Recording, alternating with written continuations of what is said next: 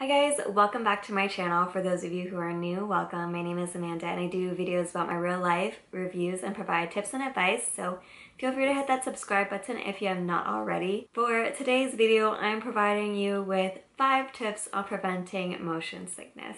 So I'm the type of person to get motion sick and that was my dog. I am the type of person to get car sick sometimes when it comes to long car trips, even if I'm just sitting in the back seat. Also, mm-hmm. I am the type of person to get motion sick or nauseous on bumpy plane rides or get seasick on boats or get car sick on either long car rides or even if I'm just in the back seat. So if this applies to you, feel free to continue watching. Mm-hmm. Dang. So my first tip when feeling motion sick or before you feel like you're going to get nauseous, like before a car ride or before you get on the plane, I suggest you use the Sea-Band. Basically, the Sea-Band says it's the drug-free nausea, travel, and morning sickness relief and it says it has been clinically tested against nausea and vomiting in travel, pregnancy, post-operative, chemotherapy, and other conditions which induce nausea. And it basically exerts pressure on an acupressure point in your wrist.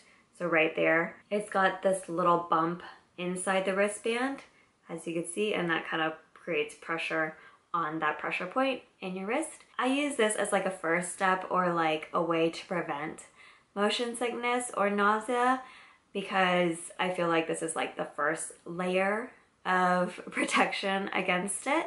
So if it's like short flights, I'll put this on super simple.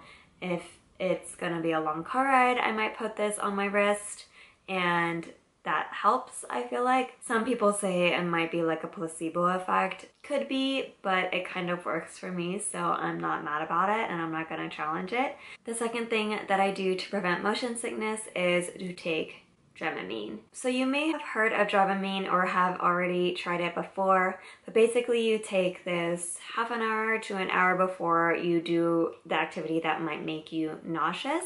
And so I will take this before pretty much every long flight just in case there's any turbulence and you know, especially if I'm going on a boat or something that I know will probably most likely get me motion sick, I will take this.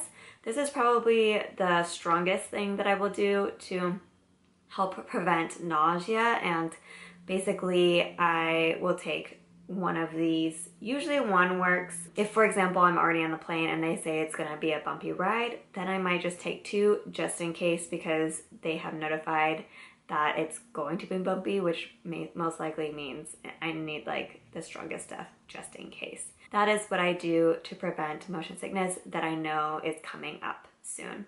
The next three things that I do are what I do if I'm starting to feel motion sick, like in the process of feeling nauseous. So the first thing is I will just take a nap or I will fall asleep. So I will try to fall asleep on the plane or the car or whatever it is and usually I feel a lot better afterwards and if you can fall asleep like in a car or a plane easily like I can, I would definitely recommend doing that if you don't mind taking a nap in the middle of the day or whatever. I find that when I wake up I feel less sick and I kind of feel over it or forget about it and so that's a nice thing to do or try out. The fourth thing that I do is to keep myself entertained. So this is kind of totally opposite from taking a nap or falling asleep, but I will either put on a movie or listen to something that will keep my mind off of thinking about being motion sick or getting motion sick.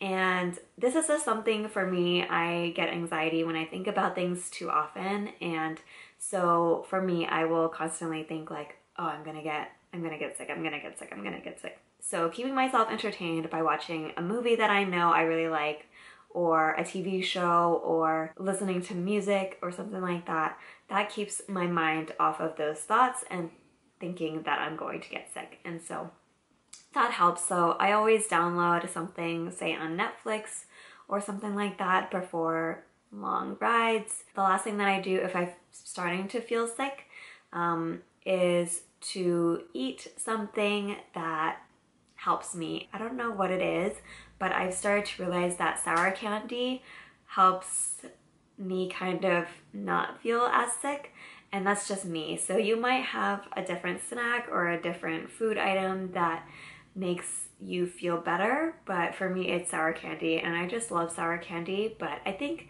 like the sugar in it kind of helps me, but also the fact that I love it also helps. Kind of find what food or snack helps make you feel better or, you know, puts you in a good mood. And maybe that's a solution to help you when you're kind of starting to feel on the verge of getting sick. All of those kind of either prevent me from getting sick or help defer me from getting sick what if I'm starting to feel it coming on. So I hope those five things helped you. Please give it a like if it did and comment down below if you have any tips or tricks for preventing motion sickness. And please don't forget to subscribe if you have not already. I hope to see you in the next video. Thank you so much for watching. Bye.